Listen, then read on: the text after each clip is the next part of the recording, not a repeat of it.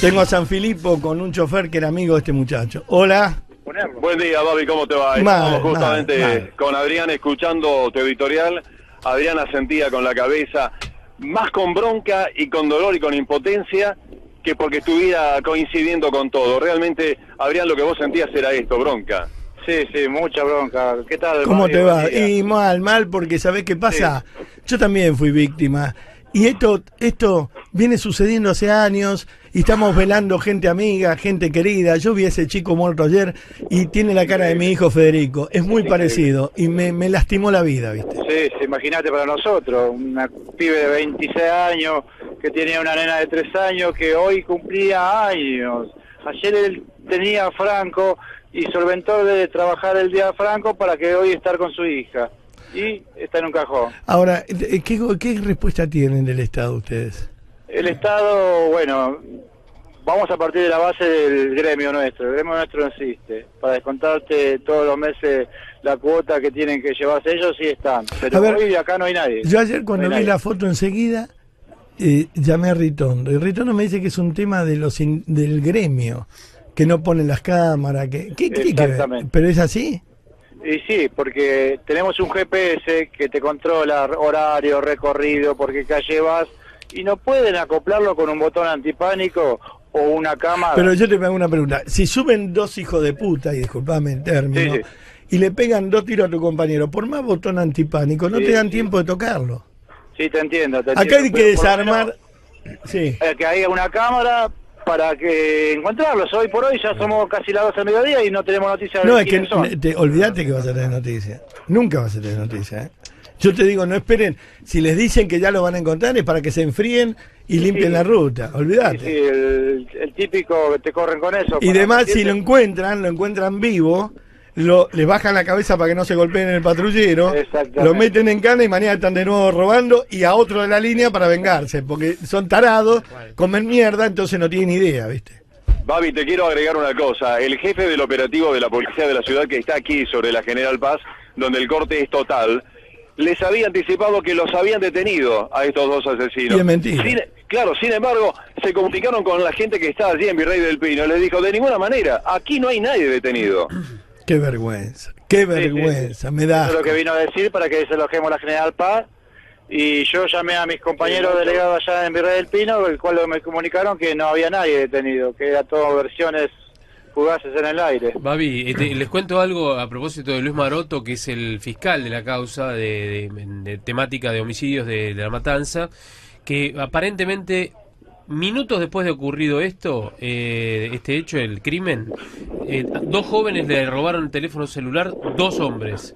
Suponen que podrían ser ¿No estos dos. Es que hasta que los agarren mataron a 20 más. No, pero ¿sabes cuál es el tema? Las pibas que le robaron el celular todavía no hicieron la denuncia. Entonces están tratando de Y localizarla no lo para ver van a si son hacer los nada, mismos. olvídate, porque no- la gente tiene miedo. ¿Quién va a Te cuento más, celular? Sí, Te sí. cuento más. Eh, los pasajeros subieron acá en San Justo y el recorrido hasta donde ellos bajaron más o menos son de 35 a 40 minutos. Y no tenían sube, subieron prepotente, medio sebrio, medio drogado, como siempre anda. Eh, y al no tener la sube, una señora le sacó el boleto, que no corresponde, ¿no? Porque el- la sube es un documento sí. uno porque tiene accidente o algo por el estilo. Le sacó el boleto, o sea que la señora que el- le sacó el boleto sabe quién son y bajó cerca de donde ellos bajaron. Sí, pero que la gente sepa quién es. Esta señora no va a decir nada porque la van a matar a ella. Y A ver, la mafia ha tomado.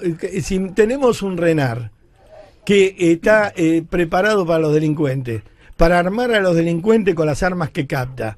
Si tenemos todo hecho mal y una soberbia desde el gobierno que no hace nada para hacerlo mejor. Si se llevan por el club privado, el country, y se maneja con amigos que son los alcahuetes y obsecuentes que hacen negocio alrededor y que le dicen vamos Bárbaro Mauri, esto va a seguir pasando. La gente tiene miedo. Las chicas que le roban, y estos hijos de puta, a lo mejor hace seis meses que vienen matando gente, y van a seguir un año y medio hasta que los maten en la calle, matando gente. Seguro, seguro. Te mando un abrazo. vivimos este momento tan difícil y con mucha bronca. Yo estoy muy, muy enojado con esto, muy no, enojado. No, se puede más, no se puede más. O sea, respetamos la democracia, pero tampoco el libertinaje, porque hoy cualquiera sube, te pega una puñalada, un tiro, entra por una puerta, sale por la otra, y vos te defendés porque te quieren agredir y le pegas una piña a la cara y te meten preso por de Obvio, obvio, pero olvidá. Estamos jugando. Obvio. Mm. Te mando un abrazo, viejo. Gracias. Gracias, Babi, que sigas bien. Que, que en paz descanse tu amigo. Gracias. Eh, una cosa que quiero decir. ¿Se acuerdan que vengo denunciando al Renar? El Renar es una cueva de ladrones. Es un negociado. Pero viste que la mina nunca dio la cara, nunca quiso salir al aire a hablar. El otro día me decía un comisario que hay un organismo internacional, no sé si es verdad, que paga 8 dólares por cada arma destruida. Entonces el gran negocio de la mina es no renovarte la aportación, sacarte las armas, destruirle, cobrar 8 dólares por arma. ¿Se lo paga al Estado, al Renato? No, a ella. Es Ah. un negocio de ellos. Ah. Se llevan 8 dólares por cada arma destruida. O sea que esta mujer está haciendo un daño, Macri, Macri. Esta señora que usted tiene en el Renar, le está haciendo un daño a su gobierno y a los argentinos que es irreparable. Pero usted la sigue cubriendo. No quiero pensar que atrás de cada arma hay algún manguito para la campaña. Realmente no lo quiero pensar. Y no quiero pensar que es verdad que por cada arma destruida, porque cuando la vez pasada la Asociación de Armeros le dijo, señora, hay 3 millones de armas truchas en la calle y usted le pega a los que tienen las armas legales. Dijo, y que haya 3 millones y medio, ¿qué me importa? O sea, si esta mina que no tiene idea de cuándo es nunca, la pusieron nada más que para gestionar el choreo. No le importa que haya 3 millones y medio de armas truchas en la calle. ¿Para qué carajo la tenés, Macri? Funcionarios que no funcionan. Yo pensé que íbamos a hacer cambiemos. Los otros eran delincuentes. Y esto, estoy enojado con este gobierno, muy enojado. Eh, así no se gobierna. Los otros son unos ladrones sin vergüenza. Y esto no me demostraron hasta ahora en dos años y medio que son mejores. Nos empeñamos con no sacarle a Bullrich. Saquen a Bullrich. Pongan un comisario como la gente, un tipo que sepa de seguridad. No puede ser que Bullrich sepa de cultura, de educación, de seguridad, de montoneros, de criar perros. No puede ser, chicos. Dejen de poner a los amigos. Pongan gente que sirva de una vez por todas. Porque por inservible, porque los- lo- lo- las fallas de los inservibles se tapan con tierra. Tenemos demasiados argentinos heridos y muertos para que en este momento no estemos calientes. Hay que pararse, hay que acojonarse, hay que pedir seguridad. Mira, ya que no tenemos luz porque es cara, no tenemos agua porque es cara, no podemos pagar los impuestos porque son caros, tenemos que mudarnos de casa porque no la podemos mantener, el auto no lo podemos mantener, la nafta es inalcanzable, carajo. Por lo que te estoy pagando, que es el 50% de mi sueldo, por lo menos dame seguridad. Me estás cagando. Digo, Vos sabés, Sí, perdón, eh, perdón. vos sabés que por el tema de las cámaras de seguridad, que es un... A ver, hay dos cuestiones ahí. Punto número uno, si las cámaras de seguridad dentro de los colectivos y el botón antipánico van a reducir la violencia dentro de los colectivos, Pero por lo menos que identificás. no. tienen, que, que tienen no. que volver, no, tienen que volver a insistir y ¿sabes qué? Meterlo de prepo. Punto uno. Pero, ¿Sabes por Javi, qué? perdón, en, en la mujer, el botón antipánico, cuando lo aprietas ya está degollado. No, pero además, Claro. si, va- si tenés la cámara, No, pará, por lo menos lo identificás. no. No, no, Pará, no, no, pará, no, no, Si hay- no, marcha. no Si me hable. Babi, por lo En menos los identificás con la cámara. ¿qué? ¿Para Exacto. qué? Y el tipo está muerto. Hagan- pero perdóname, no sean boludos. Ya está muerto, Estos tipos están identificados. Estos tipos están identificados por la policía. Ya saben quiénes son. Si Oh, tienen ¿qué van a ganas, dicen, ¿sabes quién es? El negro de la otra cuadra y el Además, otra cosa, tenés el botón antipánico en un colectivo marcha. ¿Y qué ¿Cómo- tiene que ver? ¿Y cómo lo vas si a vos hacer? tenés, No, no, vos, Javier. tenés, vos tenés un botón y se geolocaliza cuál es el colectivo y el trayecto que está Pero, haciendo. Javier, Y te lo en matan- que los dos segundos te. Javier, mataron, Y- te matan en pero 15 no es por matar. segundos. Cuando hay un incidente dentro del colectivo, aprietan el botón antipánico y ahí empieza a activarse Pero la cuestión no- de seguridad. pero Después no- tiene que llegar el patrullero. Pero olvídate, cosa. pero pedí un patrullero, 15 minutos tarda. Y a- no, Eh, bueno, eh, sí, eh, es verdad, en algunos ahí casos donde sí. está el colectivo. Pero la ruta Claro. tren- Si la- no tienen ni rueda ni nada. Pero la ruta, te- bueno, Se sí, la está roban bien, la depende rueda. también el hora. Ahora, te digo otra cosa. ¿Sabes por qué tampoco quieren poner las cámaras de seguridad dentro de los colectivos? Dentro del gremio.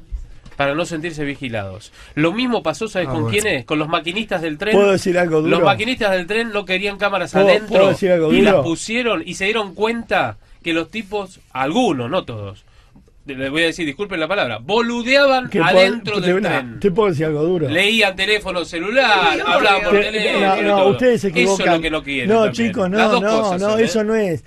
Eh, yo te voy a contar. En países desarrollados la policía te dice alto policía. Y- ¡Pum! sí, sí. A la mierda. pero está perfecto. Cuando los si negros no sacas la mano del auto y no pones las manos arriba. Exacto. y te Cuando- tiras al suelo, Cuando los negros saben que si salen armados los matan, no salen más armados. Pero esos son dos- Ahora, si vos los premiás y le devolvés el Pero- arma, Pero pará, son dos cosas y tenés razón. Una cosa es lo que decís vos y otra cosa es lo que te digo yo. Pongan las cámaras de seguridad obligatoriamente, punto. Colectivo que no tiene la cámara de seguridad y botón antipánico ¿sabés no sale a la calle. Mientras vos ataques la delincuencia y un grupo de, de- de- de mafiosos nazis kirchneristas te digan facho por pedir seguridad. Mientras vos digas que la policía tiene que tener autoridad en la calle y estos hijos de mil puta que de la mano de Esteche y de todos estos delincuentes, todos asquerosos, orinaban a los policías cuando estaban en la puerta y los sí. sacaban en la tapa de una no revista con una gracia. Babi. O sea, es hay lo que, poner mano dura. Ya, empiecen a actuar. Hay que poner mano vez. dura, hay que poner mano dura. Y así Esto- todo, y si- mientras. eh, pará, y si no te gusta que pongan mano dura ahora, cuando yo me muera, van a tener que poner, porque a la larga van a tener que usar la mano dura. Sí, señor. porque esto se desmadró. Entonces, si no es ahora, es como el ajuste. Si no es ahora, es mañana, pero hay que hacerlo. Mientras. Además, además, sí. tiene razón lo dicen, porque en el futuro, si llega a venir un gobierno cualquiera de, de izquierda, va a ser lo que hace el Chile y el Cuba, que lo fusilan. O sea, a vos te dicen, eh, no, Castillo fácil, no. Pero cuando, si ellos llegan a subir, Totalmente. son los primeros que te van a fusilar. pero olvídate. Pero olvidate. Olvídate. Ahora, ahora, cuando vos decías, estos tipos, estos chorros tienen que. Ah, el facho, el gorila, pero el ellos. No, flaco, no. Si le hubieran dado bola al flaco, al, al gorila y al facho, hoy no había mujeres muertas. Porque íbamos a caer bien atrompadas a los golpes. No había pedófilos, porque lo íbamos a salir a buscar. Y te digo una cosa: los chorros, para despedir esto y entrar en las noticias, no le tienen miedo a la justicia, no le tienen miedo a la policía. Que empiecen a tenerle miedo a las víctimas.